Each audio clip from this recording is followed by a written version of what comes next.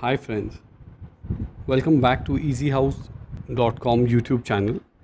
Today we'll be looking at what is PPF and whether you should be holding your PPF at this point of time or should you continue or should you start if you're a young person and you have an option to invest into PPF and your parents are telling you the same.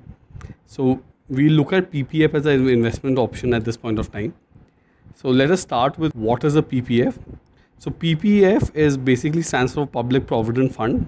It's a tax-free savings scheme which is offered by Government of India, wherein an interest in your account is deposited every quarter and is it is paid by the government. Uh, the interest rates for this qu- quarter from 1st April to 31st June 2020 had been fixed for to 7.1 and the quarter before that it was at 7.9 this is what is a ppf but if you want to know whether you should be investing into it what are the features of it so i'll request you to please see the entire video. Before i start i'd like to tell you that we've hit 500 subscribers. And we aim to make a community of 1 lakh subscribers. So if you've not subscribed to our channel request you to subscribe at the earliest. If you subscribe you also stand a chance to win a amazon alexa speaker worth 10000 rupees so please hit the subscribe button so you can win the speaker. So let's start with you know what are the big benefits of the ppf the big benefits of the ppf are that first of all it is a government guaranteed scheme. And the money which you put in is held is guaranteed by the government. So it's a sovereign bond and principal and interest both are guaranteed by the government hence they're completely safe now an individual can actually invest up to 1.5 lakhs and you get deductions under section 80c of the income tax act and interest and principal both which are earned from here are tax free now one more thing is that the interest rates are quite high. Initially when the interest rates when the ppf was launched launched the interest rates were as high as 11% because the interest rate scenario at that point of time was very different. Uh, now the interest rate is standard 7.1 and going in the future probably this interest rate will get revised downward. Uh, another very big advantage of the ppf account is that a court cannot actually attach it. Any court or any decree which is given in the by any court your these savings ppf savings cannot be attached in that. So that's a very big advantage.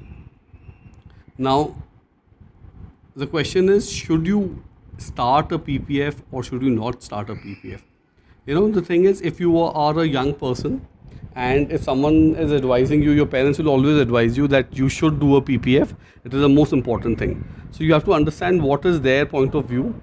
They would have started a ppf 20 25 30 years back.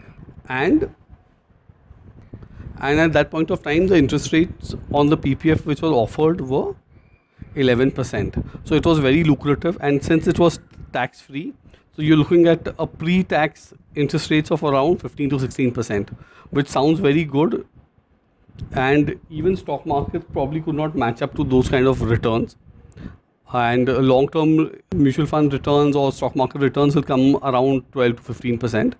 So you have to understand from that point of view. Now if to, in today's scenario if you are a young person and you're getting a, a return of 7 percent on your investment and on stock markets if you especially if you hold them for long periods of time right? So even if you hold a very very bad mutual fund probably the worst performing after 15 years your returns would definitely be much higher than 7% so you can take this example across any other mutual fund for the last 15 20 years and i think they would also have beaten a ppf returns for the last 15 to 20 years.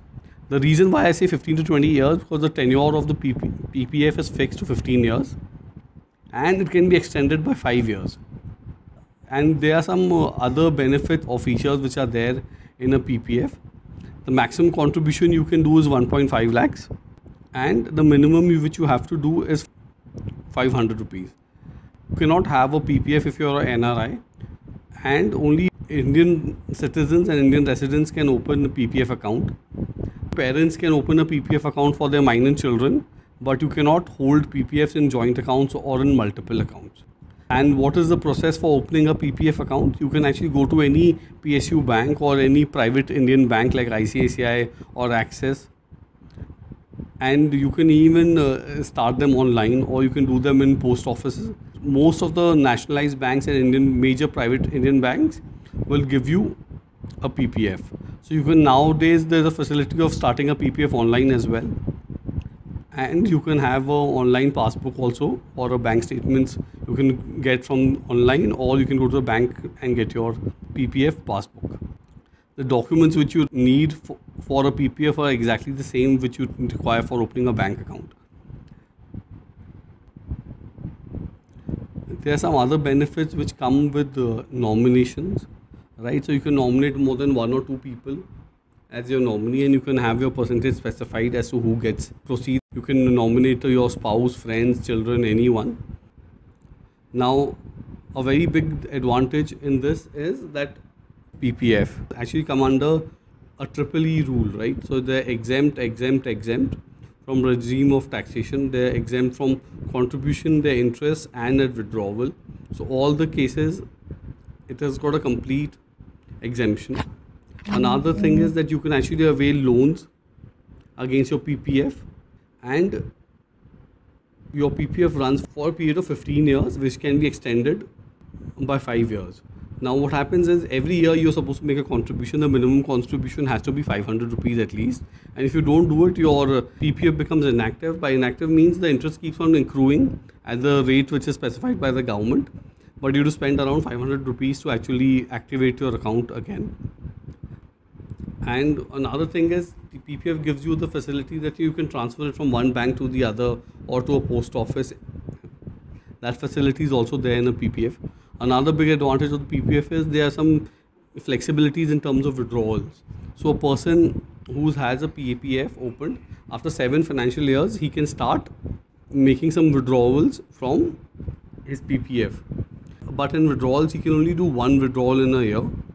And what you can withdraw is based on the rules which are specified by the PPF.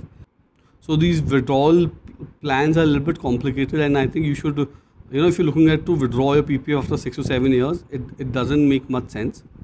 But you should actually, if you do it, you should do a PPF for entire tenure of 15 to 20 years. Now, let's look at the important question like, should you be doing a PPF if you're a young individual?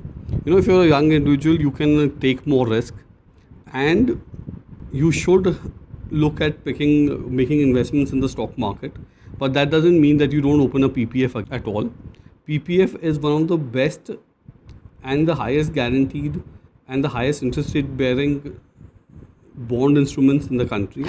And if you are a young person who's looking at investing for the first time please do a ppf and make sure that makes up your debt component of your of your investment portfolio. And the other part of your portfolio which is the equity fold portfolio you should be more aggressive on it because your debt component is is guaranteed and the interest rates is guaranteed by the government and it's a very safe and a high interest bearing certificates by the government of india you can take as much risk as possible from your other investments. Now if you're someone who's in your 30s and 40s even for them ppf makes sense because that can become a part of your debt portfolio.